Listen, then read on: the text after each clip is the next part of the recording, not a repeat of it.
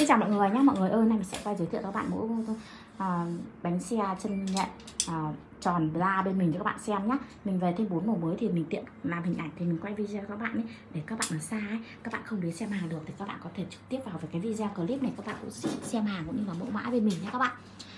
À, ghế này thì các bạn có thể xoay được 360 độ và nâng lên hạ xuống từ 40 đến 50 cm đường kính chân là 55 cm nhé các bạn rất to và to vừa phải và à, bánh xe di chuyển dễ dàng nhé Thôi mình quay qua một đoạn nữa thôi. Các bạn cần hỗ trợ gì cứ inbox cho shop để được tư vấn kỹ hơn nhé Mình cảm ơn các bạn. Mình chào các bạn.